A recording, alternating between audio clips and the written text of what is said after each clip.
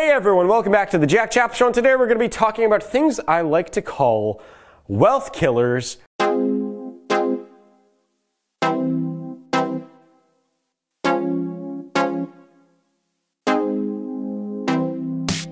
For young people and millennials, and they kind of they're they're like reasons why a lot of people especially older people can't retire. It's not that they don't want to, it's that they, they can't retire.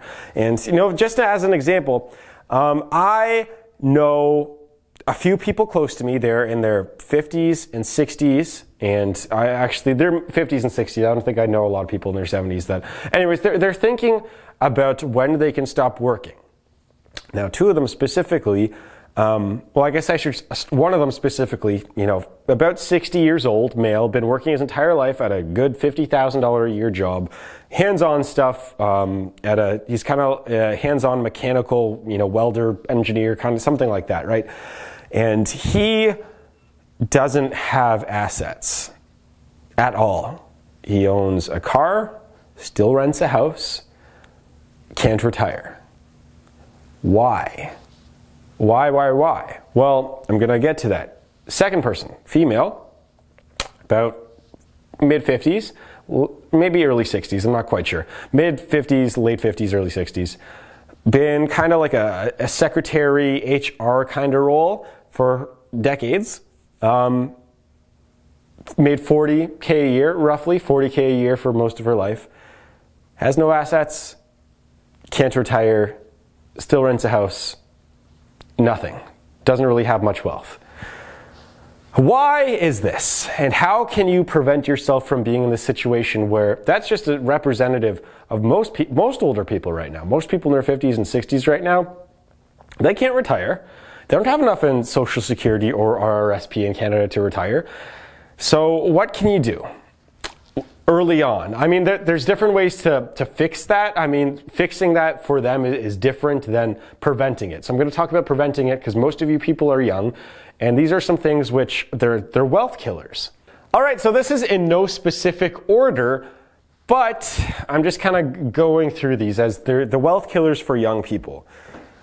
This one is called minimum payments. This is stupid. Unless you're, unless occasionally if it's an investment, but odds are it's not. So, minimum payments on stuff like credit cards, um, mortgage, car loans, student loans, only making the bare minimum payments is one of the worst things you can do. Now, you don't necessarily have to pay off that debt as quick as you can. I'm actually, I'm a fan of good debt. Okay, so uh, like some mortgages, some some housing investments. If it's your even if it's your first home, I know a lot of people don't think that's an investment; it's a liability. But if it's in a good spot and it's appreciating, it can be considered for me as an investment, right? But, anyways, making the minimum payments for mortgage, okay, like that's kind of understandable because it's kind of like plotted out. And if you miss a payment, it gets added up. But like credit cards. So if you were to spend $2,000 for I don't know, a month, right, on credit cards, right? And the minimum payment you need is, I don't even really know, I don't really use like a lot of credit cards, more than a couple hundred dollars a month. So, um, but if you were to spend $2,000 and the minimum payment's like 1,300 and then there's interest on whatever you don't pay of 8%, you're essentially taking out loans, is what you're doing. And if you keep doing that, you only make a $1,300 payment or $1,500 and it's $500 left over a month. Or maybe even if it's $50 a month. For an example, if you buy a thousand use a $1,000 on your credit card and you only have to pay off 850 of it, right? $150 a month over the course of a decade, that's, you're pretty much taking on another student loan is what you're doing. So that's that's a giant wealth killer, and I know a lot of young people are doing, especially like some people very close to me. They're only making the minimum payments, and the the debt's not even going down; it's going up.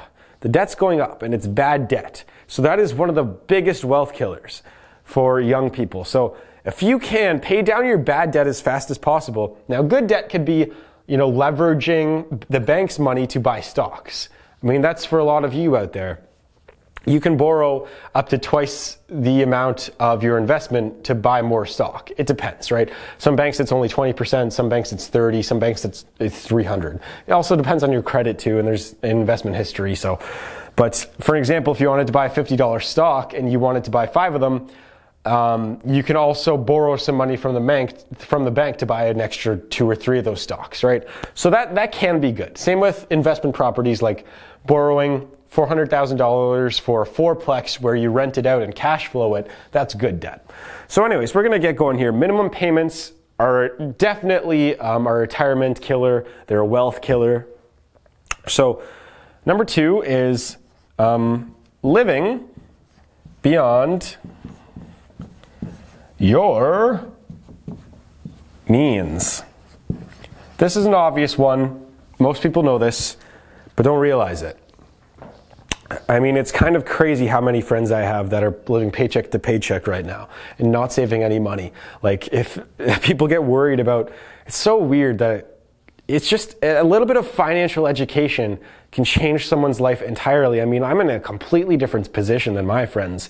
And I know I'm making a lot more money now, but it's still like, I don't, I also, it's kind of funny. I make three times as much as the average person my age, but I also probably spend a third of what they're spending on just useless shit, right?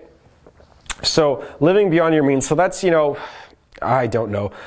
Uh, what's a good example here for living beyond your means? Just like buying stupid stuff, you know, buying video games, whatever, going on vacations when you don't need them or can't afford them, um, having a, a, mortgage where um, it's pretty much on the edge of the stress test. So it's the maximum mortgage that you can get. That's not always a good thing, right?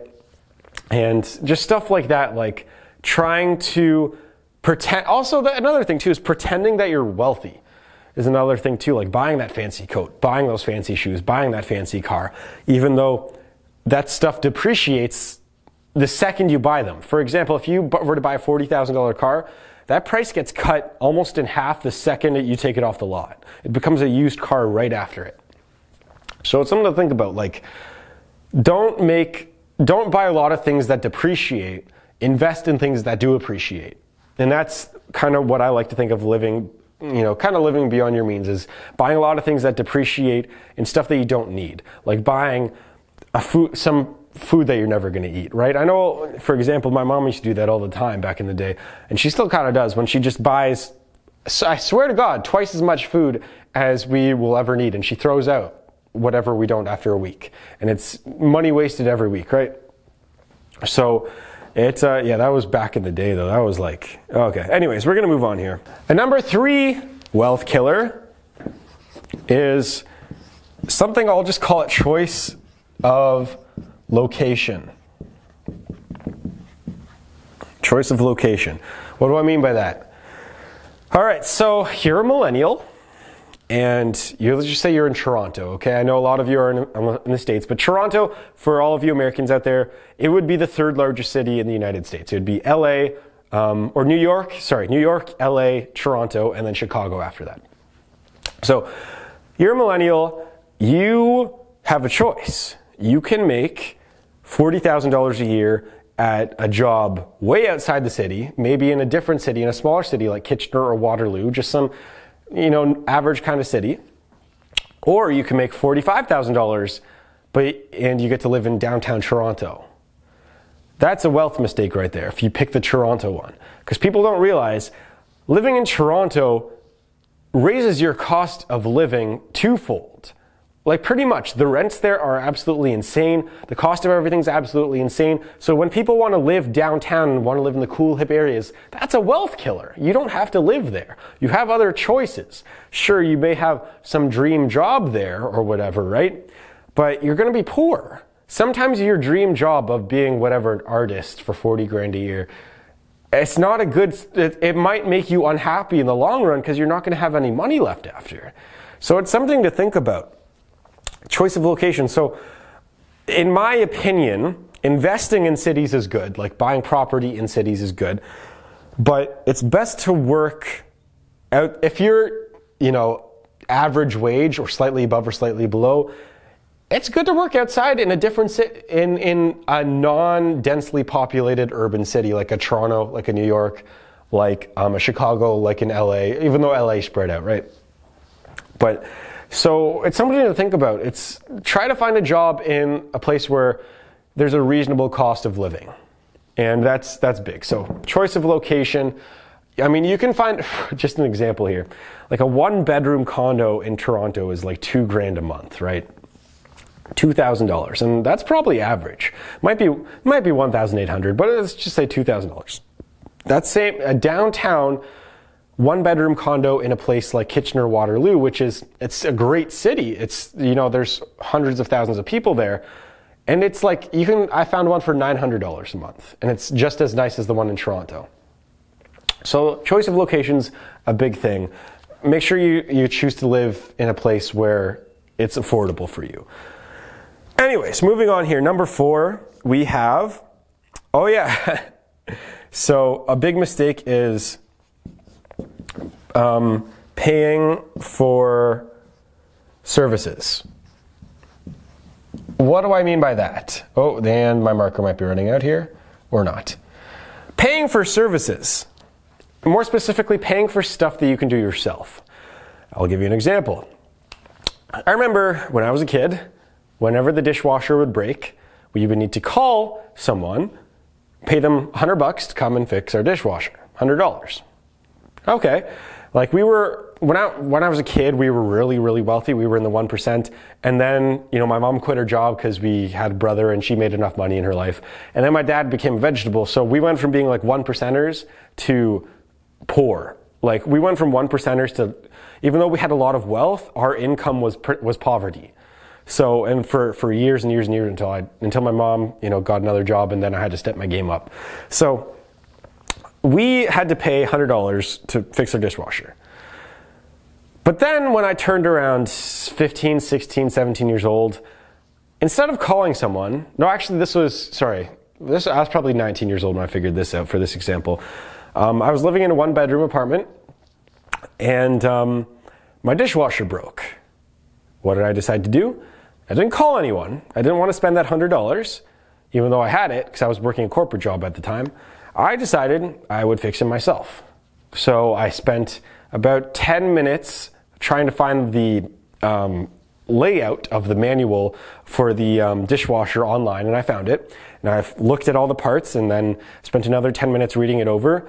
And I went in there. I had some tools. I had some, you know, just some cheap screwdrivers laying around and some. I, you know, I didn't. I think that's all I had to use. And then I just went in, went into the back of it, popped up the bottom, had to remove that, had to remove the filter, had to take all the stuff out, and then there was something clogged at the very bottom. Took it out, put all the parts back together, saved myself $100. That's just an example. So paying for services, like, I know it's good for the economy to pay people for handyman services, but for stuff that you could do yourself, like if, um, I don't know, your sink breaks or sink gets clogged, right? Or toilet gets clogged.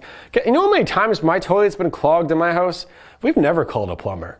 I mean, I go in there and I do that all myself. And sometimes I have to put in, you know, the drainage stuff, and sometimes I gotta go plunger. Sometimes you gotta do like the snake thing, gotta get in there. So, I mean, that's probably saved us thousands of dollars. And that's something to think about. So just learning the, these these hands-on skills can save you a lot of money in the long run. So it is it is something to think about, especially guys out there. I know girls don't like doing all the messy stuff. So guys, it can save you lots of money in the long run if you uh, can learn some of the skills that you would pay for. Um, all right, so number five here, wealth killer, is um, I'll just say no side businesses. So, just as an example here, a lot of people. Know, my girlfriend's a good example for this. So she um, she makes I don't know she makes 40k a year as a graphic designer, okay? So she's doing pretty well. And then all of a sudden I was introduced into her life and then she started side business. All of a sudden, she's making an extra few hundred dollars a month, which really helps her pay rent and pay for groceries. And so she's been doing that now. And it's an extra few hundred dollars a month may not seem like that much, but everyone, everyone has to start somewhere. And two, like, it does help. And a lot of people will go through life, nine to five job, never do a side business, and that can leave hundreds of thousands of dollars on the table. And that could be the difference between you retiring and not retiring in the future. So again, that's something to think about. Number six is, clo- I don't know, it, the number six could be the most important, but I think all of these are kind of important. Um, number six, oh, and that is messed up. Number six is investments. Lack of long term investing is, in my mind, it can be like the nail in the coffin for why you can't retire. Because you don't necessarily have to invest in stocks to, to be wealthy. You can just do it in an RRSP, which kind of, you know, invests in whatever market that you want. But, or 401k for a lot of you. But um, long, lack of long-term investing, in my mind, that instead of, just for an example here, let's go back to the couple uh, of people at the very beginning of this video. So we have the older gentleman, the older woman. Let's just say that instead of spending a couple grand on rent every month. You downsize, maybe you spend $1,500 on rent a month, put away $500 a month in long term investing. They could be millionaires right now if they did that, or close to it. I don't know if they would be. But if they started young, they could. So, I mean, that's one of the, the way, like I've talked about this before, is, you know, you can become a millionaire through investing. Anyone can. If you make 50 grand a year, I've told this I think I've told the story about the, the janitor that was 80 years old and was worth $7 million only because he started investing when he was 20. And he, all he did was he did my buy and buy more strategy of 6%. McDonald's Coke stocks gets the dividends, reinvest those dividends, buy, buy more, kept going. He was worth, he was almost a multimillionaire when he died. So, anyways, that's something to think about. What do you think is the ultimate wealth killer for young people? I mean, this minimum payments kind of gets you into like a debt cycle, the debt trap, which I think I might have made a video on that before. How people get stuck in debt and it's really tough to get out of sometimes. I mean, living beyond your means can be a wealth killer, but if you have a high, actually living beyond your means means that no matter what your income is, you're, you're living high standard. So that could be the number one wealth killer actually. Um, yeah, but uh, what's the number one wealth killer for you? Like, what's your weakness? I think for me, I don't even know if I have a weak. I don't know if any of these are weaknesses for me. Paying for service. I guess number four. I mean, I do a lot of stuff myself, but actually, I don't even know the last time I've paid someone for a skilled service. I think I just try and fix everything myself. Maybe choice of location, because I live in a pretty wealthy area, but I, I can afford it, right? So I don't know. I don't think, are any of these weaknesses for you? And if you can, make sure you fix them as soon as possible.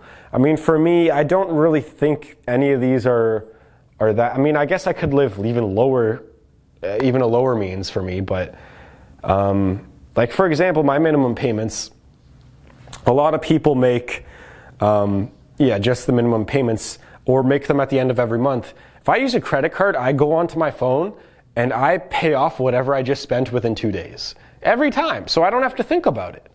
I mean, I don't want to be like, oh man, I have like $800 to spend at, uh, $800 to pay off at the end of the month. No, I just fucking do it right away. It's so much easier. That's what you guys should do. Just pay off your, there's mobile apps for all your banks, I can guarantee it. Just go in, pay off your debt right away. You won't have to worry about it. You'll thank me in the future. So, anyways, I'd like to thank you guys very much for watching. Uh, remember to subscribe, leave a like if you want to. And yeah, you are all very beautiful people. I'll see you guys in the next video.